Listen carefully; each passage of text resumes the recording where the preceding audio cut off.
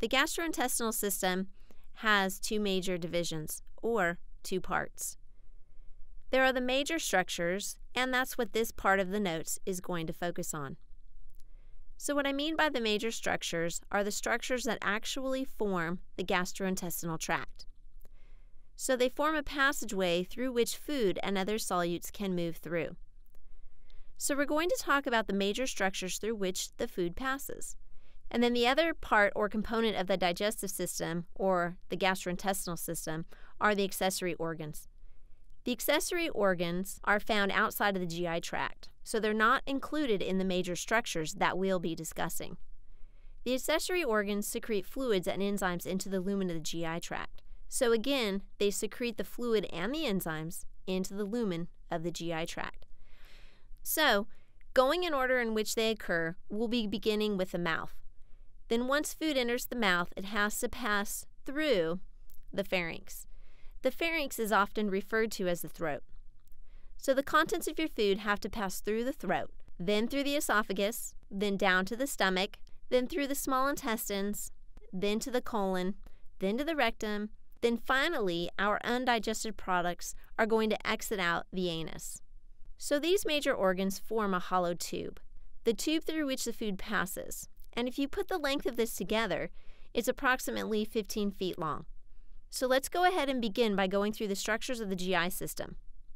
So we're going to start with the mouth, pharynx, and esophagus, and then work our way through each of the other structures. So let's focus on the mouth first, because that's where the food has to enter the gastrointestinal system. The mouth is where you have both mechanical and chemical digestion beginning.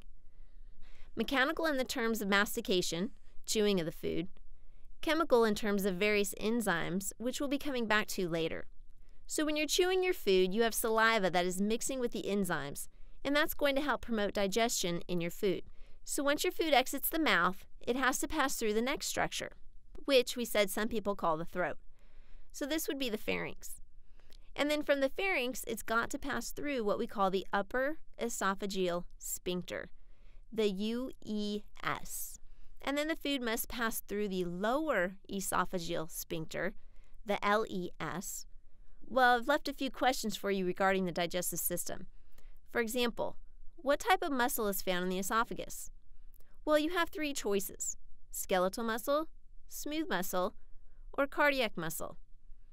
We know it's not cardiac because cardiac muscle is in the heart. We know it might not be skeletal muscle because skeletal muscle is associated with bone.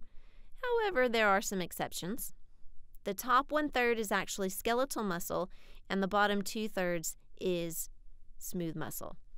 When food enters the esophagus, the epiglottis is in which position? And what type of muscle makes up the lower and upper esophageal sphincters? And beneath what skeletal muscle is the stomach located? This skeletal muscle here is called the diaphragm, which we'll come back to and discuss the diaphragm at a later date. But this is definitely skeletal muscle. And what this diaphragm is, it's reinforcing the lower esophageal sphincter.